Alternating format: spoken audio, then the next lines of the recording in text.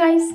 I am, as you can see, very blotchy, so I wanted to take you through a tour of some of my favorite skin masks and what I would use in this situation with my skin being really flared up and really red, which happens sometimes when you have rosacea. So SK-II Overnight Facial is one of my favorite, most potent masks that I do maybe only once a week.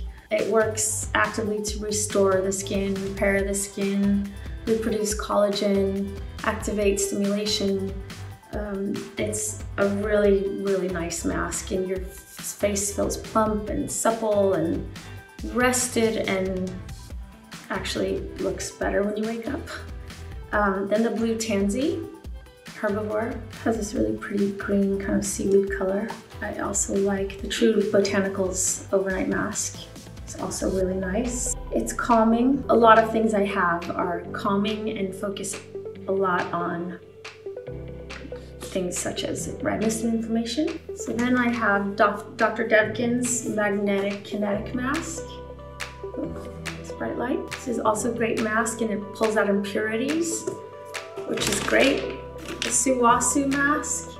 I use, I bring with me on flights when I'm going on a really long flight. I use two of these when I went to Australia, for example because it's very hydrating and I like the material that the mask is made out of. And then the May Lindstrom Honey Mud Mask. I'm feeling this tonight for some reason because it's still a little cold outside and this feels so cozy. I love how it smells. Please calm my redness down. It smells like dessert. It's so delicious, the smell. I tend to alternate my masks a lot depending on what the season is and what I need and how much time I have.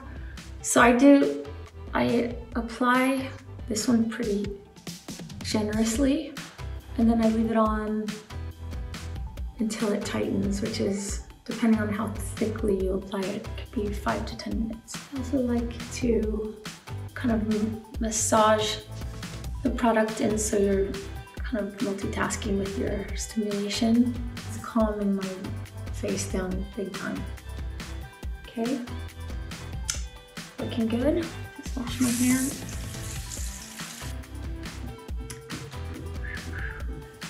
I might also clean my brushes when I'm doing this because I am quite obsessive about clean brushes. Um, but I definitely tend to multitask been like five, 10 minutes, but it's still shiny. So now I like to take a towel with warm water. I usually use a darker colored towel so it doesn't completely ruin the light towel.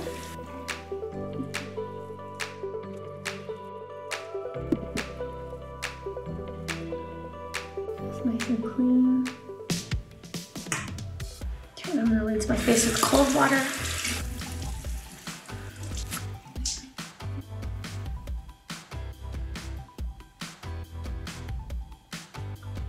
Okay, so my skin feels calmer, tighter, brighter.